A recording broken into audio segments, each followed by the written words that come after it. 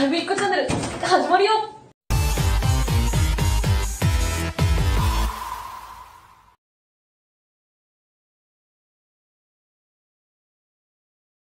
こんにちは。ハイブリッコちゃんアテンダントの白耳パルコで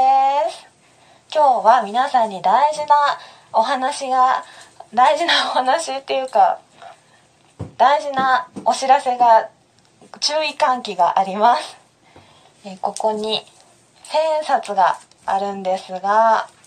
これ今全部で2、3、4、5、6、7、8、9、10、10枚ぴったり10枚あるんですけどあのお店の人とかはよく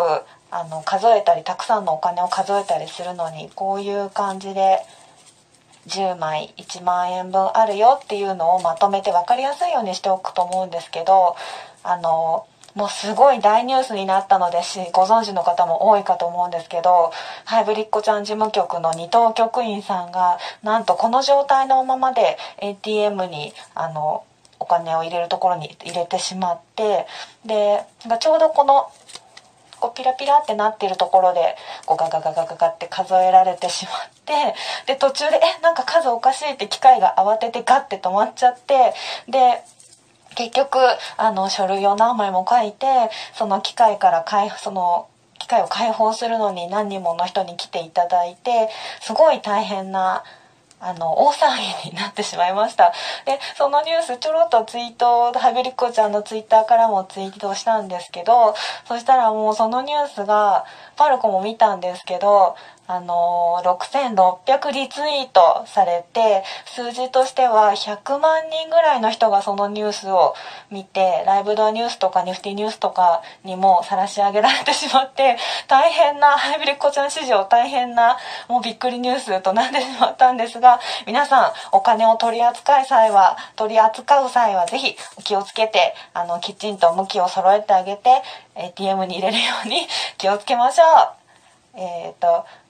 これから年度末に向けてお金の取り扱いある方も多いかと思うんですけどあのぜひハイブリッコちゃんをを反面教師に 気をつけていただけたらなと思います。今日はお金のお話でした。バイバーイ。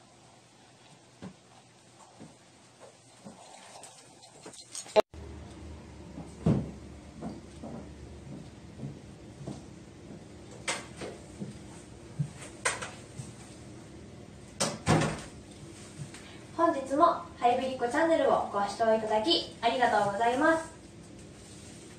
ぜひぜひチャンネル登録もよろしくお願いします。またハイブリッコちゃんは TwitterFacebook インスタグラムもやっておりますのでそちらの方もぜひご登録よろしくお願いします。ではではまた見てねバイバーイ。